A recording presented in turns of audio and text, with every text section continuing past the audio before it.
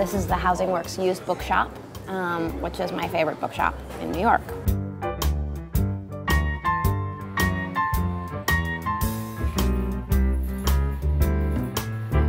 It's used books and records, and um, the money for everything goes to um, homeless shelters for people with compromised immune systems.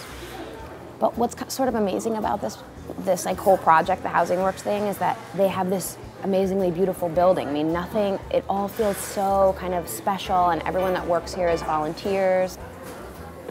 It's on Crosby Street, which is sort of a little alley street shoved between Nolita and Soho. And even though you're kind of right in the middle of these two big neighborhoods, this street is kind of forgotten. So a lot of people don't go here and don't know about it. So I like it because sort of leave you alone. Because people donate sort of such a wide variety of books here.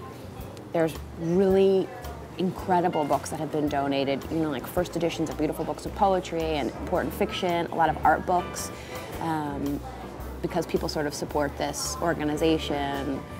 I guess when they're clearing out their libraries, they give the books to them. I don't know who would give these books away, but they're beautiful. So it's always fun to come here too because you never know what you're gonna find. I like used books. I'm sort of um, a book addict. I think this place you have a little bit, I don't know, like a chance to find things that maybe are more unusual.